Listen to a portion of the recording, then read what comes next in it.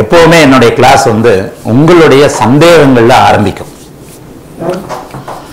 ஏன்னா ஒரு எதிர்பார்ப்போடு என்கிட்ட வந்திருப்பீங்க.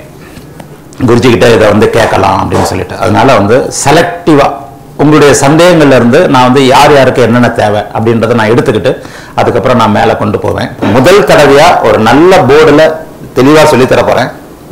ரொம்ப சிம்பிள் ஜோதிடத்தை வந்து ஃபர்ஸ்ட் லெக்சரோட ஆரம்பிப்பேன். ஆனால் இந்த அளவுக்கு லெக்சர் ஓரளவுக்கு நீங்கள் டெப்தான ஆளுங்க இருக்கிறதுனால லெக்சரோட தேவையில்லை. ஜோதிடம்ன்றது புரிஞ்சுக்கிட்டீங்கன்னா மகா எளிமையான விஷயம். சனி உச்சமாகி வக்ரமானா?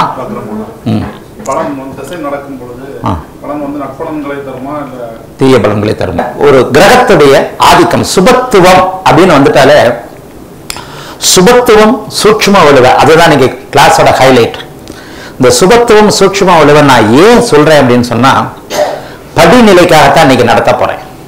தமிழக முதல்வருக்கு ஏன் வந்து மரணம் ஏற்பட்டது?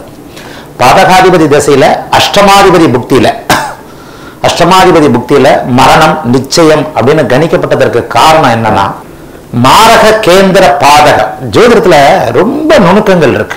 மேலோட்டமா பார்க்க முடியாது.